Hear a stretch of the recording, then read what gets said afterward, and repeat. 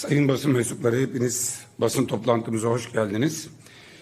20 yıllık bir iktidarın iktidara geldikleri günlerde kendilerine Erdemliler Hareketi olarak tanımlayan birilerinin Türkiye Cumhuriyeti Devleti'nin çivisini çıkardığı bir sürecin artık son dönemlerindeyiz. Son 6 ayındayız en fazla. İçişleri Bakanı sıfatını kullanan Suç İşleri Bakanı'nın hukuka, mevzuata değil, kendi keyfine uygun şekilde ülkeyi yönetmeye çalıştığı bir anlayışa iktidarın da teslim olduğu ve iktidarı yöneten kadroların savunamadıkları ama engel olmaya da çalışmadıkları bir savrulma içindeyiz.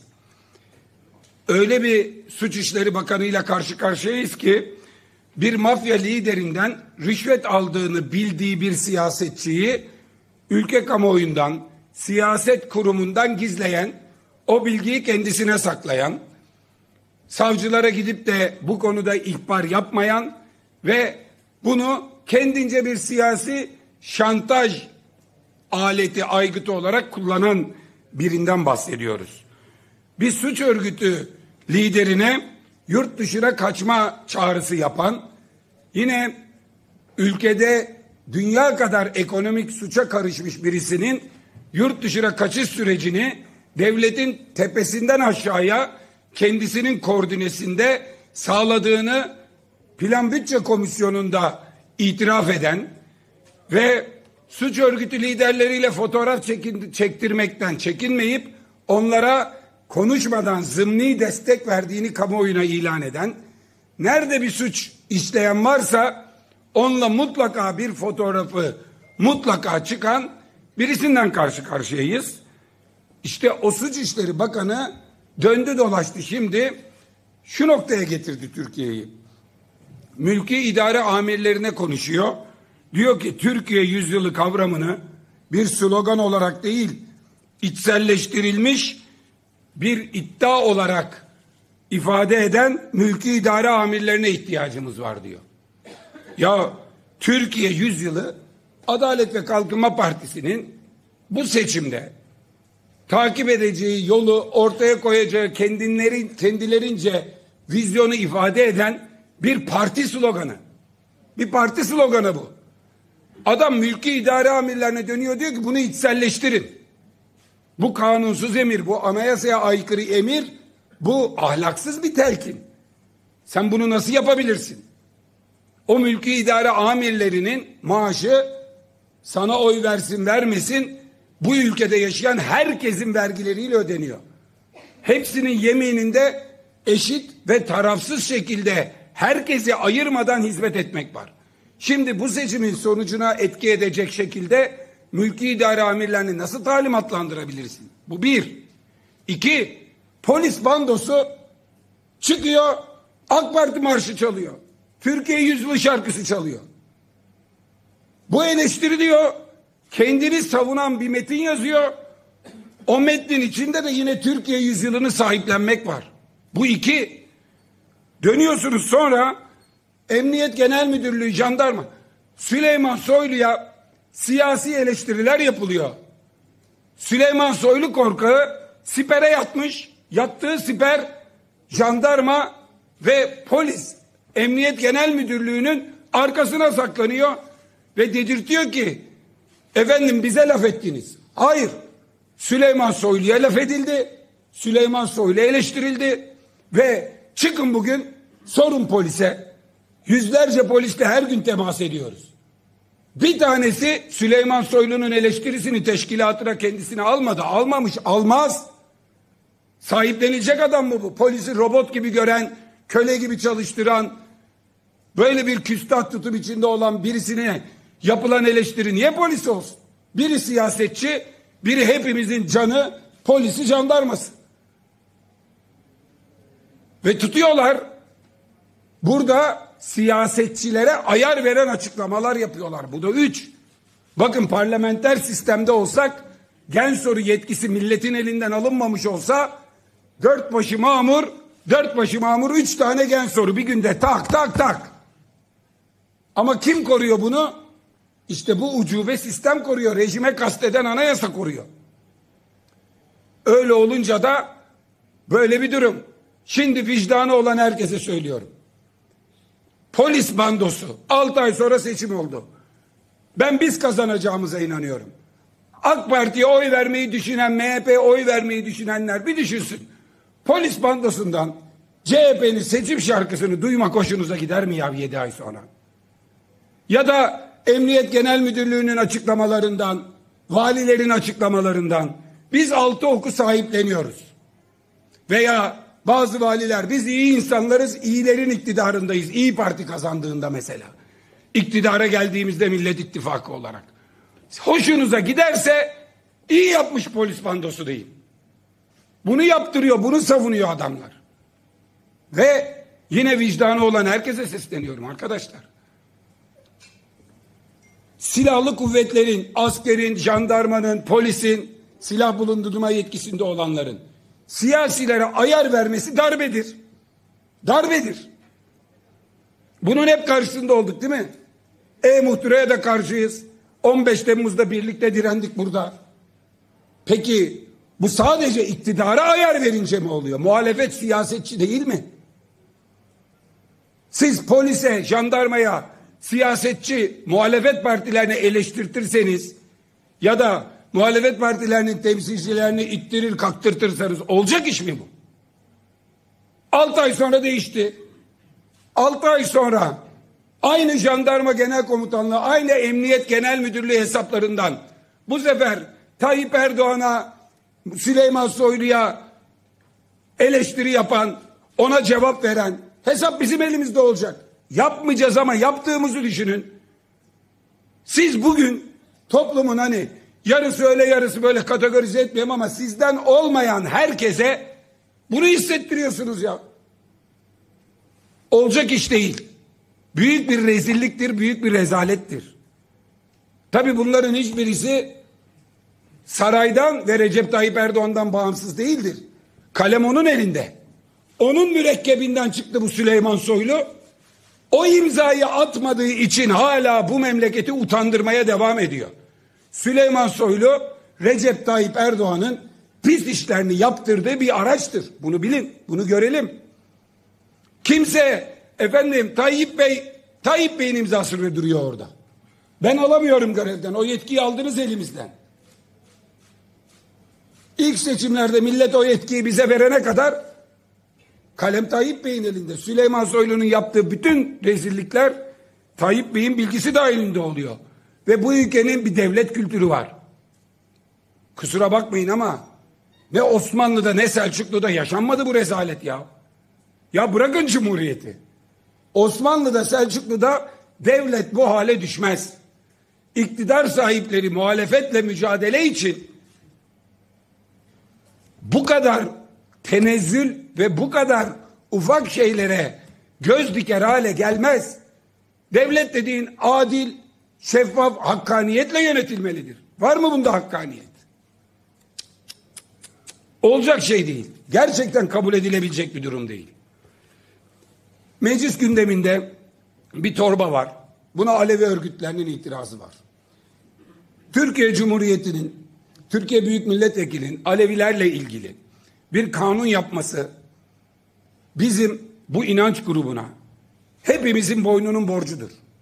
Bunun usulü şudur. Önce bir araştırma komisyonunu kurarız. Bütün partiler otururuz.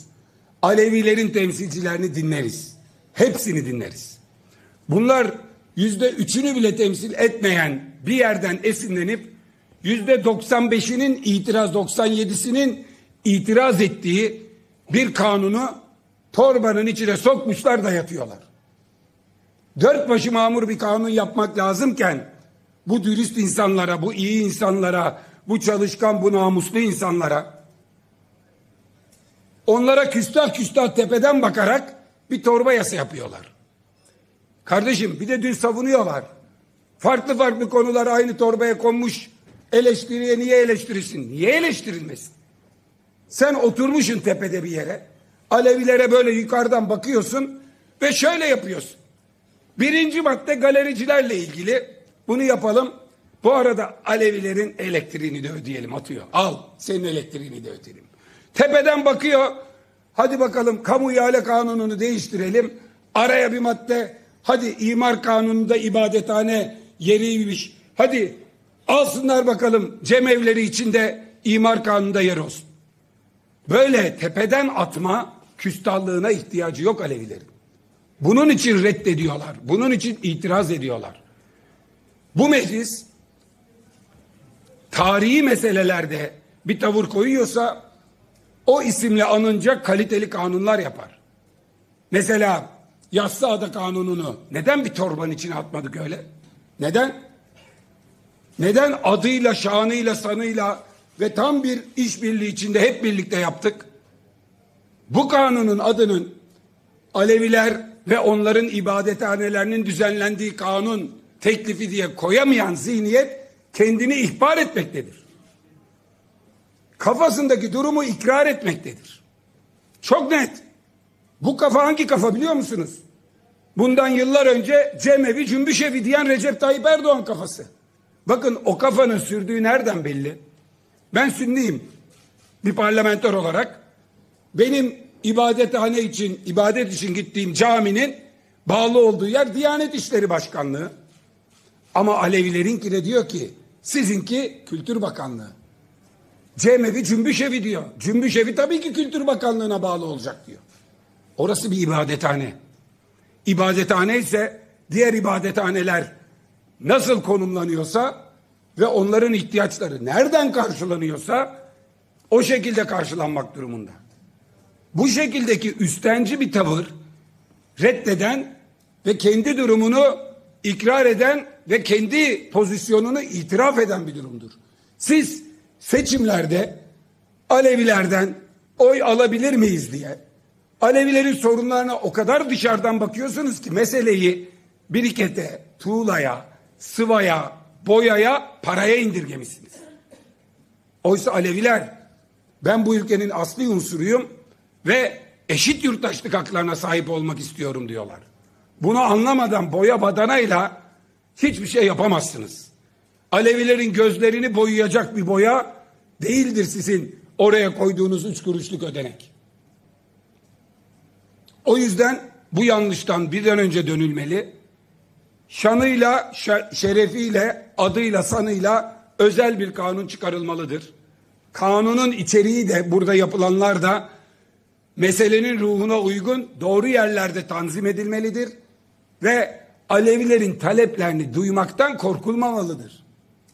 Bakın kendinize yakın gördüğünüz ve birlikte hareket ettiğini ima ettiğiniz Alevi kuruluşlarının başında olanlar geçmişte kararlar aldırdılar.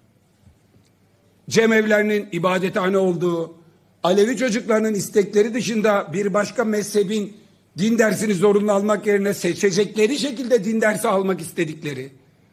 Bunları duyamayacaksanız, bunları duymaya korkuyorsanız, mesele buysa çıkın bunu söyleyin.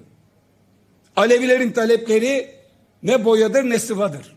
Alevilerin talepleri eşit yurttaşlıktır. Bunun üzerinden yol alacaklar alırlar. Onun dışında göz boyamak için duvar boyası parasını ben ödeyeceğim diyenlere Alevilerin karnı toktur. Ama harikulade bir AK Parti fotoğrafıydı dün. Bugün de devamını izliyoruz.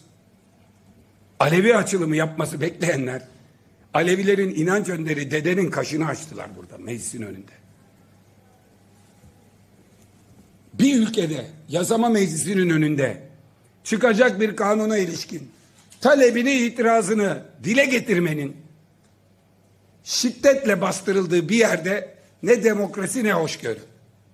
Alevilerle iletişim kurmanın yolu dedelerinin kolunu kıvırmak, kameranın altından onlara tekme atmak, kaşını açmaksa tam işte AK Parti samimiyeti arkadaşlar. Tam AK Parti samimiyeti.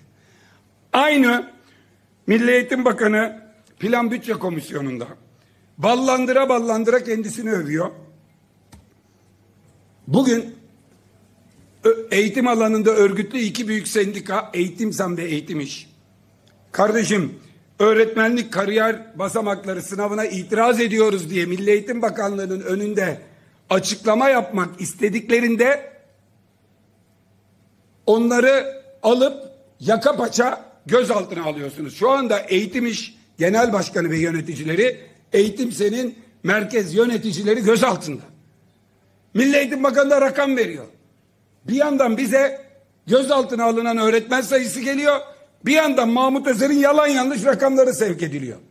Mahmut Özer alın karşınıza koyun. Milli Eğitim Bakanlığı'nın açıkladığı veriler okul öncesi okullaşma oranı 81-63 Milli Eğitim açıklamış. Burada yüzde 97'ye çıktık diyor. İlkokulda okullaşma oranının bakanlık istatistiğine göre oranı 93-16 burada 99-63 diyor. Ve bu kadar şuursuz, bu kadar beceriksiz, bu kadar yeteneksiz, bu kadar liyakatsiz bir sunum meclis tarihinde yok. Alın meclis tutanaklarını, alın bakanın verdiği istatistikleri yayınlayan Milli Eğitim Bakanlığı'nın verilerini. Bakan Bey, sizin öğretmenlerinizin çok önemli bir kısmının üye olduğu sendikanın seçilmiş başkanları dayak yiyorlar, yaka paça gözaltına alınıyorlar. Sen hala yalan yanlış şekilde bir şeylerle övünmekle ve tarihten bir iki cümleyi alıp da getirip bu döneme tahvil etmekle uğraşma. Sen işini yap işini. Senin işin şu anda Milli Eğitim Bakanıysan sen, sen gerçekten Cumhuriyet'in Milli Eğitim Bakanıysan Süleyman Soylu'ya telefon açarsın. Kardeşim ne demek benim öğretmenlerimin temsilcilerini alıp da darp etmek, hapsetmek, içeri atmak, ifade almak. Teessüf ederim derhal bırak onları diyorsan sen bakansın. Ama sen öğretmenlerin bakanı değil, sarayın atadığı ve sarayın işlerine bakan bir memursan işte böyle davranırsın.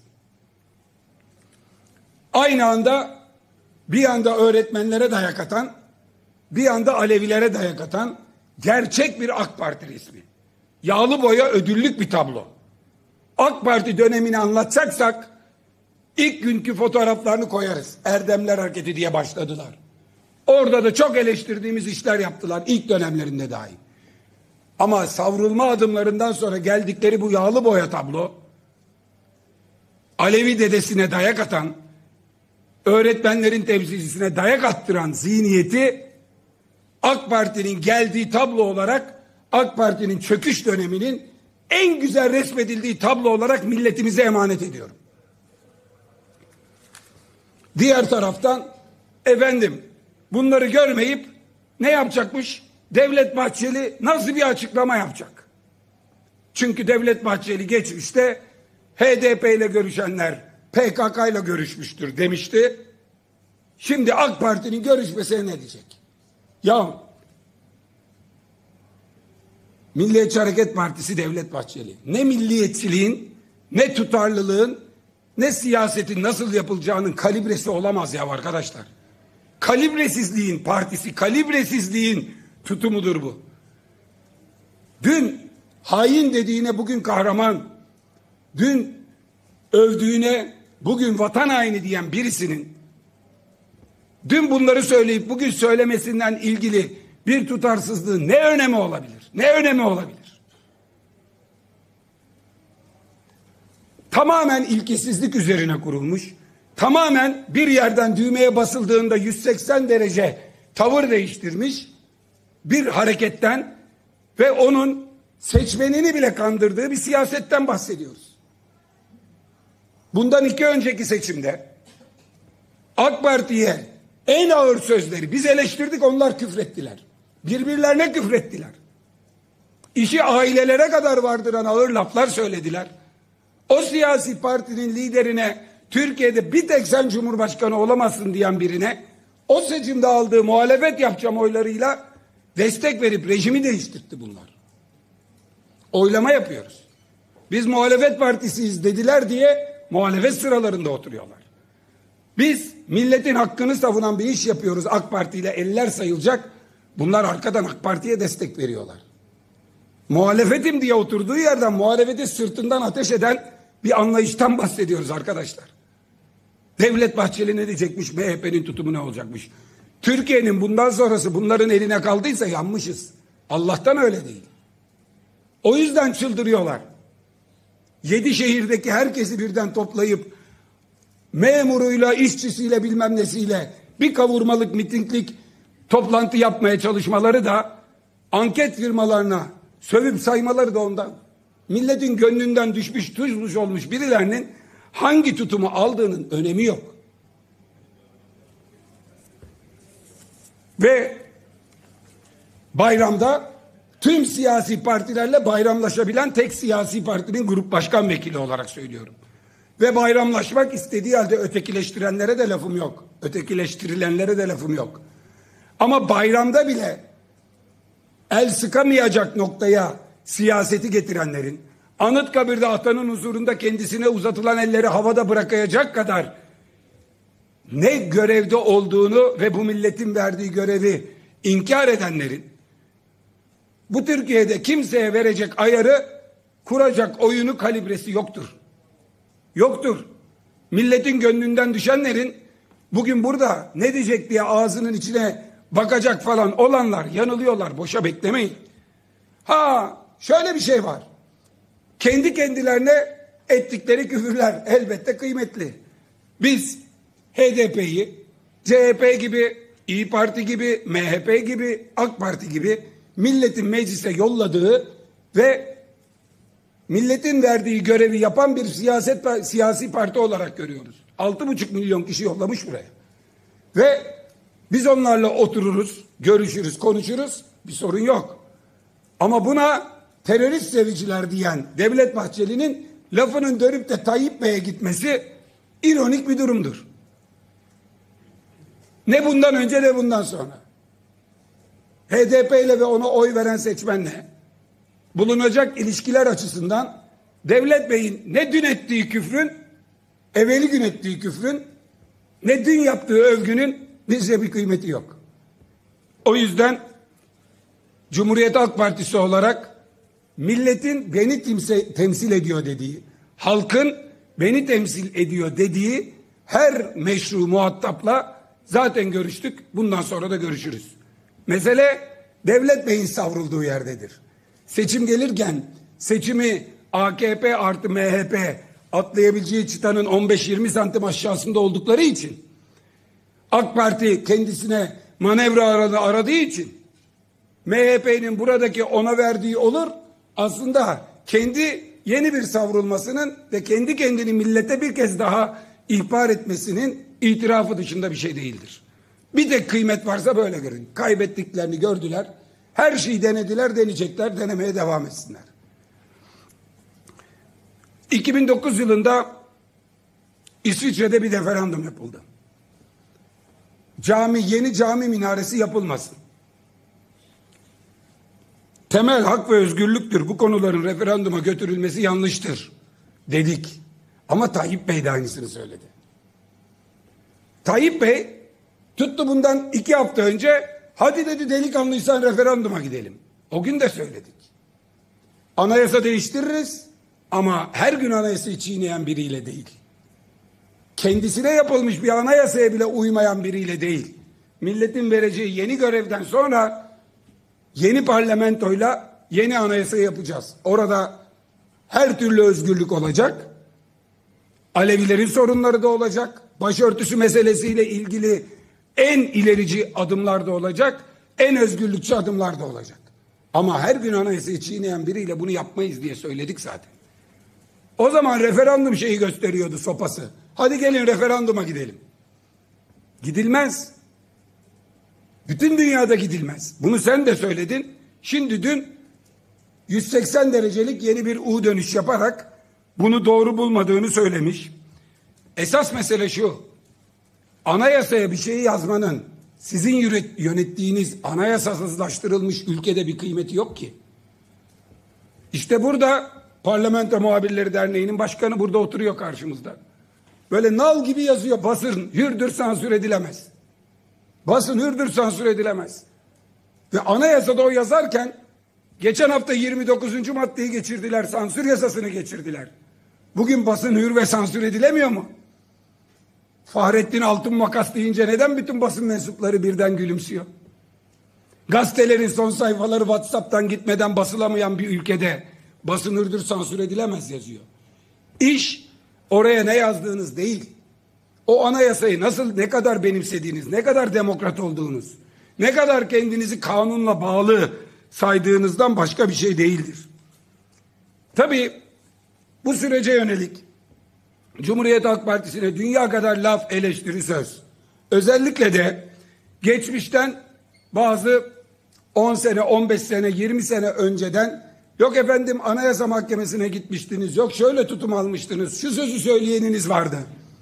Partinin geldiği nokta ortada, genel başkanımızın samimiyeti ortada, üniversitelerde türban sorunu genel başkanımızın nasıl çözdüğünü halen yaşayan yok başkanına niye sormaz biriniz?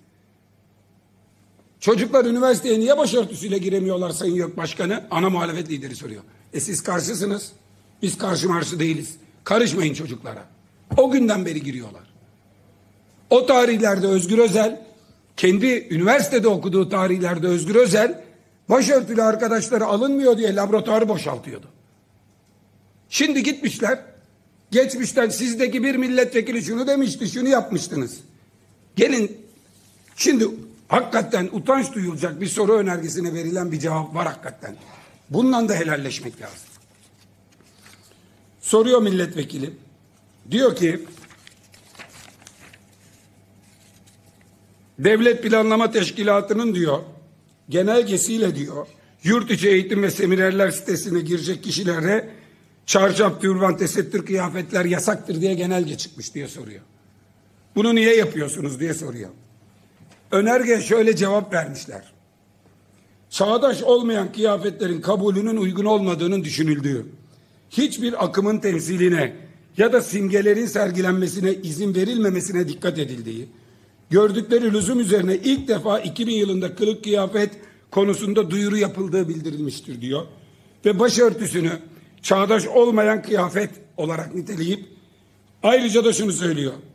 Bu çerçevede olmak üzere başörtüsünün sitelere kabul edilmediği, Anadolu usulü geleneksel bir bağlayış başörtüsüne ise izin verildiği. Hani vardı ya 28 Şubat'ın annem gibi bağlarsan olur da simge şeklinde bağlarsan olmaz falan lafları. Aynen bunu söylüyor. Diyor ki geleneksel bağlasınlar. Türban siyasi simgedir içeri sokmayız. Helalleşelim değil mi Devlet Bey? Soru önergesini Başbakan Yardımcısı Devlet Bahçeli yanıtlıyor. Buyurun arkadaşlar. A Haber son dakika girebilir mesela. Niye girmesin? Devlet Bey'in imzasıyla şok bir belge çıktı ortaya. 21 Haziran 2000'de cevaplamış. Doğru Yol Partili bir milletvekilinin sorusu üzerine Milliyetçi Hareket Partisi'nin bugünkü genel başkanı, o günkü başbakan yardımcısı. Sorun arkadaşlar, sorun. Sorun. Dün İsveç Başbakanı'yla Recep Tayyip Erdoğan'ın yaptığı basın toplantısını dikkatle izledik. Birincisi şu. Her zaman söyledik söylüyoruz. Türkiye'deki Türkiye'de terör örgütü olan ve bunların bünyesinde bulunan teröristlerin bunun adı hangi terör örgütü olursa olsun PKK'da olsa FETÖ'de olsa başka bir terör örgütü de iadesinin talep edilmesi, Türkiye'nin terörle mücadelesine destek istenmesi, İsveç'ten bunun istenmesi kadar doğal bir şey yok. İlk baştan beri söyledik. Burada samimiyet lazım. Peki şu cümle nedir ya? Bu konuda değerli dostum Kristerson'un beni anlayacağına inanıyorum. Önümüzde tabii Temmuz ayına kadar bir süre var. Ve özellikle Haziran ayında Türkiye'de bir seçim söz konusu. Gerek Cumhurbaşkanlığı seçimi, gerek parlamento seçimi. Bu seçimlere tabii hazırlanırken halkımızın karşısına rahat çıkabilmemiz lazım. Bunları da değerli dostumla paylaştık, görüştük, konuştuk. Ona göre de adımlarımızı atmamız lazım. Bu ne demek arkadaşlar? Bir, Devlet Bey sorsa ya dün sorup duruyordu. Türkiye'nin Cumhurbaşkanı'nın İsveç Başbakanı'nın karşısında Haziran'da seçimler var. Milletimin karşısına rahat çıkmam lazım lafı nedir? Bu yalvaran yakaran tutumla sen Temmuz'a kadar süremiz var. Haziran'da da seçim var. Beni seçimde rahatlat demek nedir? Halkımın karşısına rahat çıkayım demek nedir? Dış güçler, dış güçler. Al sana dış güçler. Meselenin kendisi seçim odaklı. Seçim olmasa diyor benim diyor ne FETÖ'sü ne PKK'sı ne o tutumla bilmem ne. Ama seçime kadar beni rahatlat demek nedir arkadaşlar? Daha ne söyleyelim? Türkiye Cumhuriyeti Devleti'nin herhangi bir cumhurbaşkanı bu hale düşmüş müdür? Rahmetli Ecevit'in ki Kıbrıs çıkarmasını yedi düvele karşı tak diye yapmış Ecevit'in. Abdestinden şüphesi yok namazından olsun milletin. Deklanşöre basmışlar 3 santim önde diye koyup koyup onu işte dik duruş işte Clinton karşısında eğrilmiş başbakan diye rahmetlinin kemiklerini sızlatıyorsunuz. O bütün adalara Yunan bayrağı çekildi 20 yıllık iktidarınızda silahlandırıldı kıkınız çıkmadı. O koskoca Kıbrıs'a gitti. Bizimkiler diye paraşüt tugayını indirdi be kardeşim. Şimdi sen İsveç Başbakanı'nın karşısında seçimim var benim beni o güne kadar rahatlat. Bu laf nasıl ediliyor arkadaşlar? Şöyle ediliyor. İsveçli gazetecinin sorusuna cevaben. Prompter yok ya. Prompter olmayınca ne milli, ne yerli, ne dik duruş. MHP'nin ve AK Parti'nin dik duruşları dünkü tutumlarıyla netleşti. Belli oldu ki Pesküvit'in dik duruşu çaya girene kadarmış. Tayyip Erdoğan'ınki de ondan farklı değil.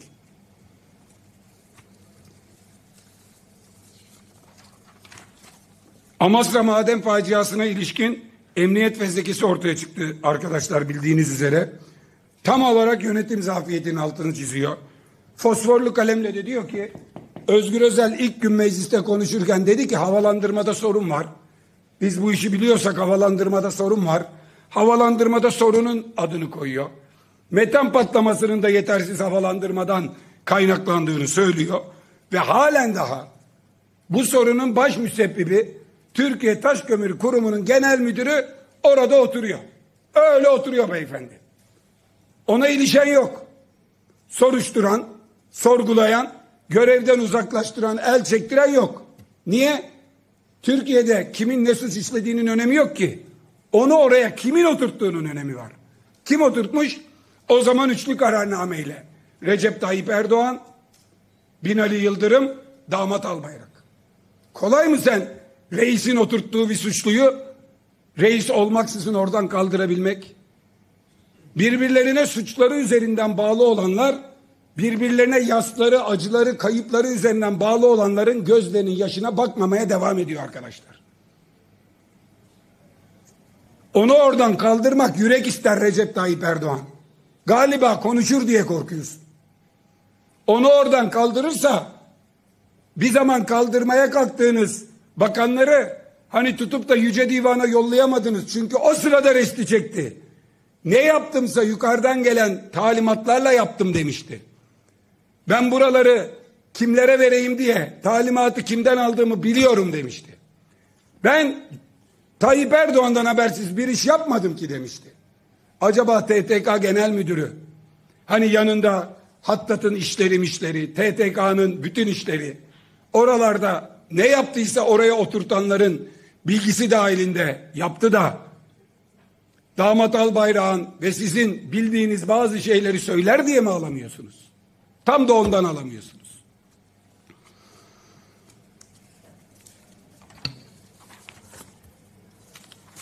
Benim notlarım bu kadar. Sorunuz varsa yanıtlayalım arkadaşlar.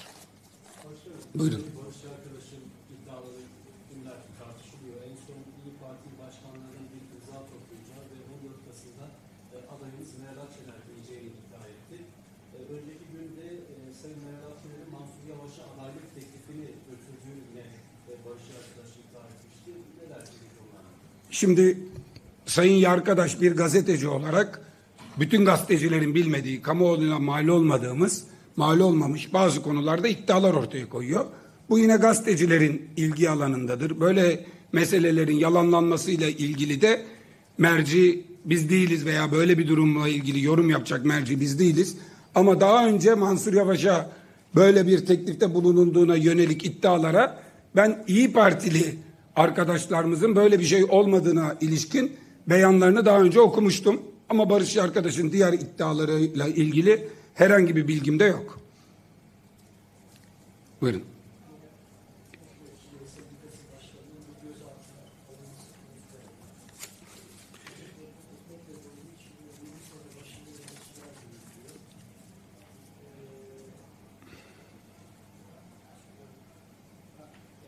Ben tekrarlayacağım. Mikrofon yok gitmiyor zaten.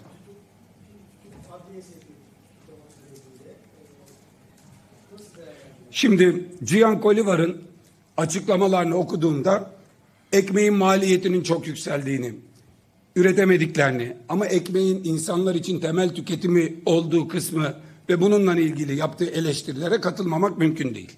Ama devamında kullandığı bir kısım var.